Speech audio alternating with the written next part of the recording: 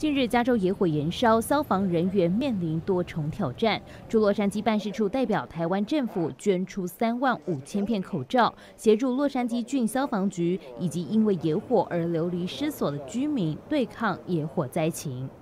In the face of natural disasters, we are all Angelinos. Taiwan firmly stands in solidarity with Los Angeles until we research from this dire time. Tough times never last, but tough people do. Let's get through it together.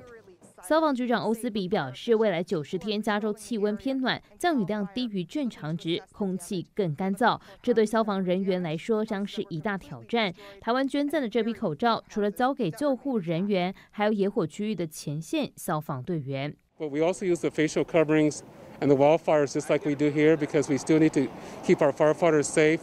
We still need to practice social distancing.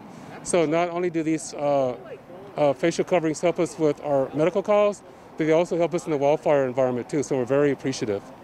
除了野火灾情，目前武汉肺炎疫情已逐渐趋缓。人口约一千万人的洛杉矶郡，目前每日新增确诊一千多例，较七月底高峰期单日破四千例的情况明显减少。驻洛杉矶办事处处长黄敏金也提到，台湾成功控制疫情之后，至今已捐出六千万片口罩给世界各国，其中美国达一千万片。这次捐赠更表达在灾害面前，台湾与洛杉矶站在一起。